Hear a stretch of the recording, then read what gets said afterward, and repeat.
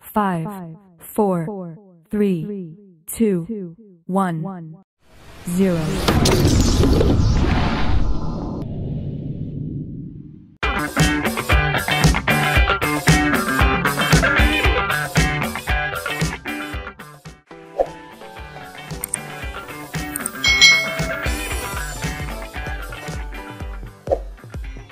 Hi, hi, hai Selamat datang kembali di channel youtube Kak Citra.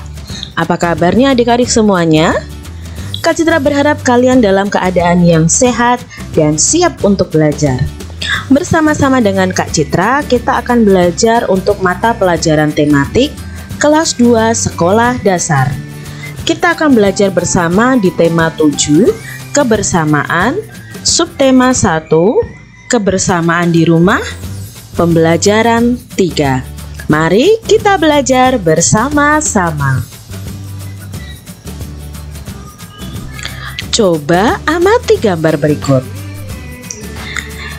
Sedang apakah keluarga Siti? Ya adik-adik, keluarga Siti sedang berkumpul bersama. Mereka sedang berbincang-bincang. Mereka sedang mengobrol. Anak-anak sedang bermain juga di situ. Yuk kita simak cerita Siti. Di rumah Siti sedang diadakan acara silaturahmi keluarga. Silaturahmi keluarga diadakan setiap bulan. Suasana silaturahmi menandakan kebersamaan dalam keluarga.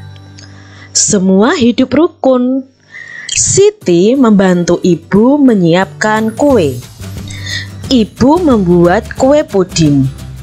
Ibu mencetak kue dengan ukuran kecil. Ada yang diberi warna coklat, ada yang berwarna putih, ada yang diberi warna hijau, ada yang diberi warna merah. Semua menggunakan pewarna alami. Anak-anak bermain sambil menikmati kue puding. Mereka bergembira mendengarkan cerita teman. Di sini, keluarga Siti sedang ada acara silaturahmi atau kumpul keluarga. Siti dan ibu menyiapkan kue. Ibu Siti membuat puding nih adik-adik. Puding buatan Ibu Siti bermacam-macam warnanya. Ayo warnanya apa saja? Ya, ada coklat, putih, hijau, dan merah. Semuanya memakai pewarna alami. Adik-adik harus tahu nih, makanan yang memakai pewarna alami itu aman untuk dikonsumsi atau dimakan oleh kita. Tetapi kalau makanan yang memakai pewarna tidak alami atau pewarna buatan itu sebenarnya berbahaya bagi kita.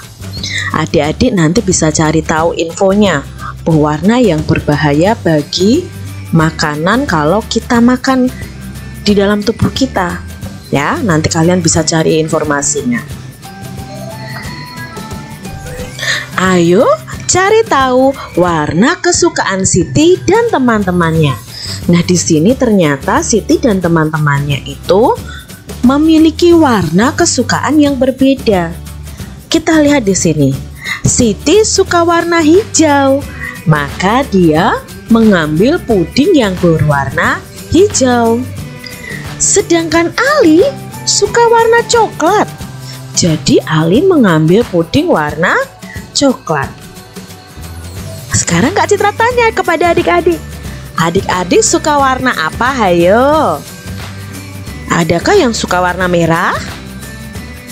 Warna hitam? Warna hijau? Kalau Kak Citra suka warna ungu adik-adik.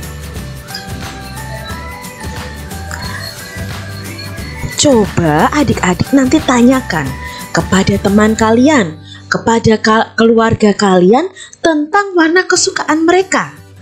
Boleh kalian tanya kepada ayah, ibu, adik, kakak, dan teman-teman kalian di sekolah tentang warna kesukaan mereka.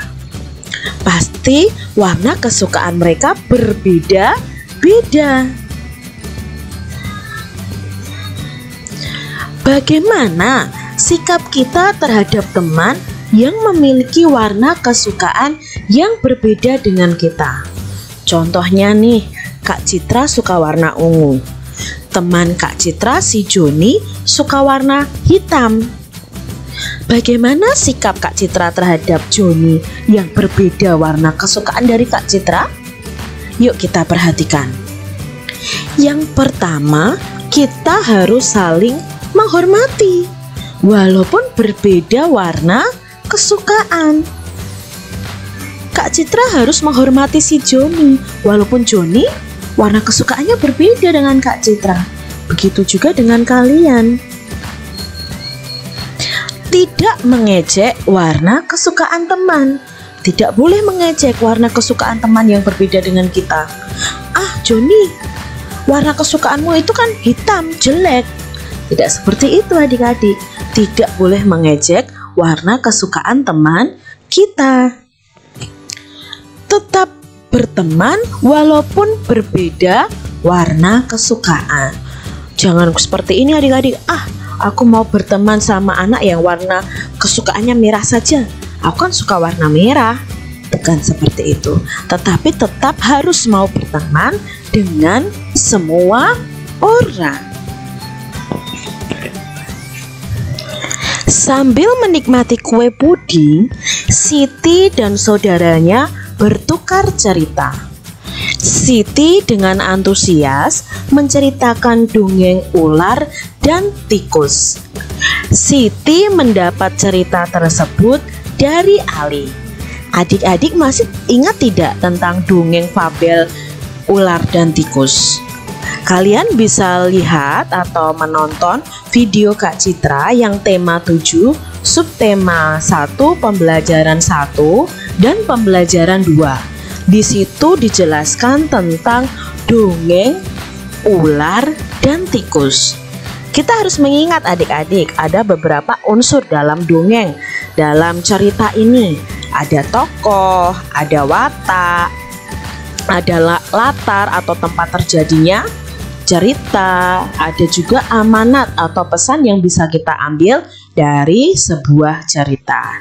Nah, di sini Siti melontarkan beberapa pertanyaan terkait dengan dongeng tadi adik-adik. Kita lihat ya. Yang pertama, mengapa sang ular ingin memangsa tikus? Ayo, mengapa? Iya, karena ular merasa lapar dan ular malas untuk mencari makan adik-adik. Yang kedua, tikus berbicara kepada ular. Jika, jika ingin makan dirinya, maka yang harus dilakukan adalah apa yang harus dilakukan? Ayo, nanti kalian bisa lihat dulu ya. Sebelum menjawab ini, melihat video Kak Citra yang ada dongengnya. Mengapa? Ayo, jawabnya apa nomor dua? Disuruh apa? Iya, yang harus dilakukan ular adalah berpikir. Tikus menyuruh ular berpikir. Berpikir apa adik-adik? Berpikir seperti ini. Kalau nanti si ular memakan tikus, maka ular akan hidup sendiri. Nah, itu tikus menyuruh ular berpikir. Yang ketiga, ular tidak jadi memakan tikus karena mereka berdua tidak bisa. Iya, kalau ular makan tikus berarti ular sendirian. Ular tidak jadi makan tikus karena mereka berdua tidak bisa hidup sendiri. Kita sebagai manusia juga begitu adik-adik. Kita tidak bisa hidup sendiri. Maka manusia disebut makhluk sosial. Makhluk yang membutuhkan bantuan orang lain. Yang keempat, ular meminta maaf kepada tikus. Apakah tikus memaafkan sang ular? Iya, tikus memaafkan sang ular. Akhirnya mereka apa? Pergi mencari makan bersama. Setelah ular dan tikus hidup bersama, apakah yang mereka lakukan bersama? Ya, adik-adik, mereka mencari makan bersama sama. Itu tadi pertanyaan tentang dongeng ular dan tikus. Siti memotong kue pudingnya menjadi tiga bagian sama besar. Tadi Siti mengambil puding berwarna hijau, lalu memotongnya menjadi tiga bagian sama besar. Kita lihat nih adik-adik. Ini adalah puding Siti. Siti memotongnya menjadi tiga dan sama besar. Maka setiap potong itu bisa kita nyatakan menjadi pecahan satu per tiga. Potongan puding yang kedua juga satu per tiga. Potongan puding yang ketiga juga satu per tiga. Di sini kita tahu adik-adik bahwa setiap benda yang dipotong menjadi tiga bagian sama besar, setiap bagiannya adalah satu per tiga. Seperti pembelajaran sebelumnya kita sudah belajar tentang pecahan setengah atau satu per dua. Kita bisa memotong benda menjadi dua bagian sama besar. Kalau hari ini kita belajar tentang pecahan satu per tiga. Berarti satu benda yang utuh dibagi menjadi tiga bagian, maka setiap bagiannya adalah satu per tiga. Puding dipotong menjadi tiga bagian sama besar. Satu potongan dapat dinyatakan dengan pecahan sepertiga. Nah, ini cara menulisnya. Satu garis tiga dibaca sepertiga atau satu per tiga. Ini adik-adik ya. Jadi setiap potongannya ada satu per tiga. Tapi kak, kalau aku memotong pudingnya tidak sama besar, apakah bisa dikatakan satu per tiga? Tidak bisa adik-adik. Dikatakan satu per tiga apabila benda atau ini kue ya dibagi menjadi tiga sama besar. Itu baru dikatakan pecahan satu per tiga. Kak Citra punya soal untuk kalian coba adik-adik. Siti memotong kertas menjadi tiga bagian sama besar. Jadi di sini Siti punya satu kertas, lalu dipotong menjadi tiga bagian sama besar. Maka setiap bagian disebut titik-titik bagian. Kak Citra sudah jelaskan tadi di atas bahwa jika suatu benda dipotong menjadi tiga bagian sama besar, maka setiap bagiannya dinyatakan dengan pecahan berapa? Ya, setiap bagiannya dinyatakan dengan pecahan satu per tiga atau sepertiga. Maka jawabnya adalah satu per tiga bagian. Kita lihat soal selanjutnya. Sebuah kue dipotong menjadi tiga bagian. Setiap bagian sebesar satu per tiga. Maka masing-masing potongan harus dipotong bagaimana? Kita lihat di sini. Ini kuenya dibagi menjadi tiga. Setiap bagian harus dinyatakan dalam pecahan 1 per 3 Maka masing-masing potongannya harus dipotong bagaimana? Ya, harus dipotong sama besar supaya bisa dinyatakan dalam 1 per 3 bagian. Siti ingin membagi sebuah kue. masing-masing bagian sebesar 1 per 3 maka kue tersebut dibagi menjadi titik-titik bagian sama besar kalau ingin kue itu menjadi bagian 1 per 3 maka kue itu harus dipotong menjadi berapa adik-adik? Ya, dipotong menjadi tiga bagian sama besar. Sekarang Kak Citra punya gambar lalu kita coba arsir sepertiga dari gambar berikut. Yang pertama Kak Citra punya seperti uh, persegi panjang. Persegi panjang ini sudah Kak Citra bagi menjadi tiga bagian sama besar. Maka kalau kita ingin menunjukkan sepertiga bagian, arsir salah satunya. Kak Citra arsir yang ini adik-adik. Berarti bagian ini adalah 1 per 3 Gambar selanjutnya Nah, di sini sudah ada ya gambar yang sudah Kak Citra bagi menjadi tiga bagian. Lalu untuk kita arsir, pilih salah satu karena hanya satu bagian dari tiga bagian yang ada. Nah, ini yang Kak Citra arsir. Itu cara mengarsir sepertiga dari sebuah gambar.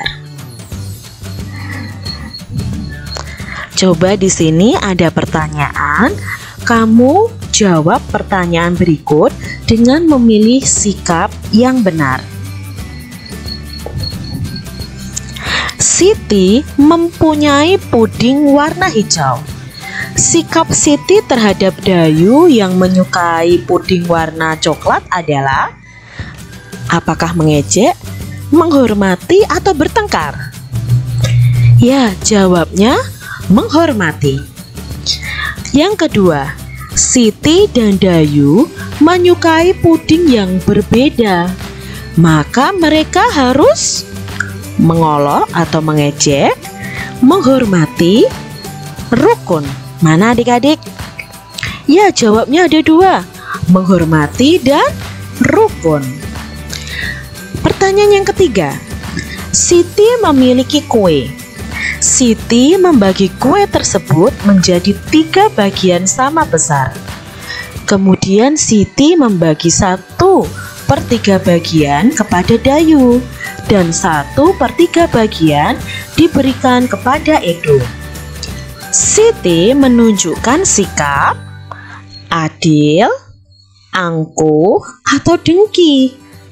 Di sini Siti membaginya sama besar. Berarti sikap Siti adalah sikap adil. Pertanyaan yang keempat. Siti dan keluarganya selalu tolong menolong. Mereka tidak pernah bertengkar. Mereka saling menyayangi. Siti dan keluarganya selalu hidup mewah, hidup rukun, atau hidup ramai.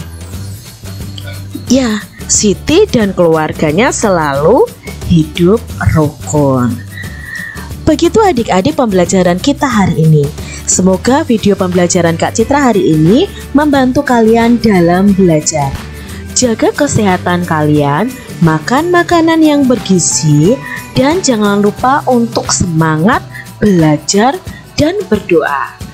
Sampai jumpa kembali dalam pembelajaran Kak Citra selanjutnya.